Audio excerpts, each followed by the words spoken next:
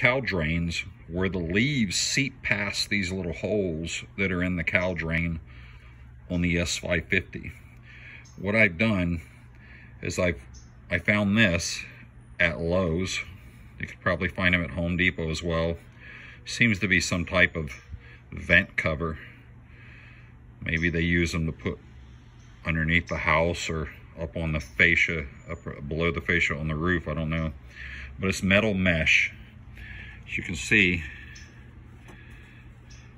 it's got little diamond holes in it. So I took this Dremel with a cutting wheel and I cut these two pieces here. If you notice on, on this side, it has a slant on it, on both of them. Okay, watch the next video and I'll show you what I'm doing with them.